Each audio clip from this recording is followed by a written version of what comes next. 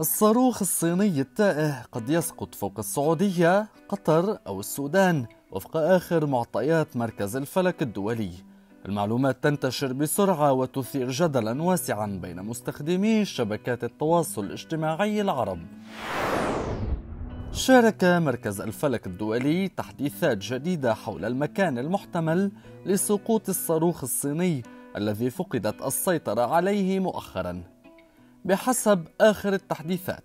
الصاروخ قد يسقط فوق قطر أو السعودية أو السودان مع العلم أن هذا الاحتمال قد يتغير عند ظهور أي تحديثات حول مسار الصاروخ. الصاروخ التائه هو من طراز لونج مارش 5B تم إطلاقه منذ أيام قليلة ويزن 23 طنا ويعتبر من أقوى أنواع الصواريخ الصينية. المتحدثة باسم وزارة الخارجية الصينية قالت أن معظم أجزاء الصاروخ ستحترق وتدمر عند دخول الغلاف الجوي مع احتمال ضئيل جدا أن تتسبب بأضرار في الطيران أو على الأرض.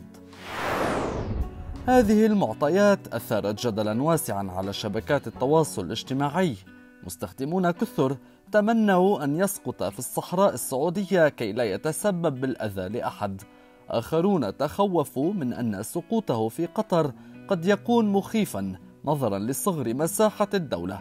البعض تساءل عن السبب الذي يقف وراء هذه الحوادث المتكررة التي تحصل مع الصين. يشار إلى أن الصين قد فقدت السيطرة على صاروخ من الطراز نفسه في صيف عام 2021 وقد أثار الكثير من المخاوف لكنه سقط في المحيط الهندي شمال جزر المالديف من دون التسبب بأضرار.